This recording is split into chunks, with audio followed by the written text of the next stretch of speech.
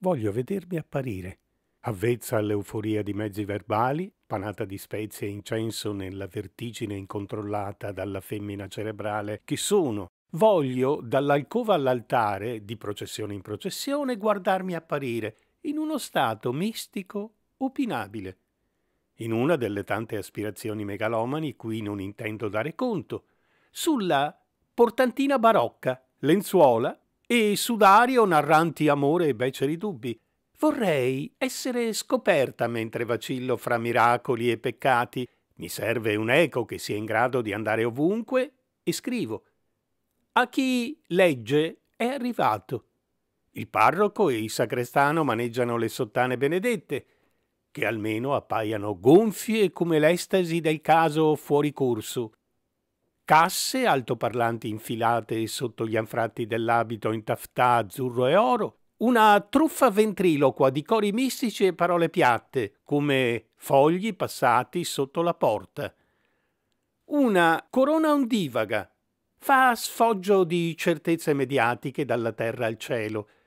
Stasera voglio fare la parte della santa ed apparirmi davanti agli infedeli Braccio costretto all'ascella, polso tintinnante, rosari e crocifissi in confidenza, mano alzata, prodiga di grazie, indice e medio in benedizione fissa e garante, sorriso impercettibile sotto lo sguardo senza debiti, ma come sempre siamo almeno due.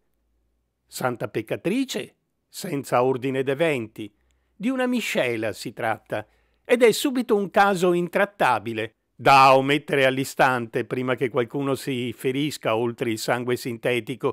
Mi rendo garante come sempre d'uno stallo bipolare. Nulla di meno nuovo.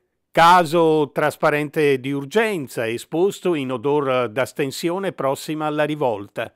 L'ispirazione stavolta si è avvalsa d'un caso di portata mondiale. Mi pare si chiamasse Maddalena sciacquò se stessa in un pediluvio. Prima di lei una certa Eva, mai riuscita a sopperire la malafede senza attenuanti d'un capro espiatorio non responsabile, personalmente non figuro nell'elenco dei santi, nemmeno dei beati. Per guadagnarmi la purificazione dovrei peccare sul serio.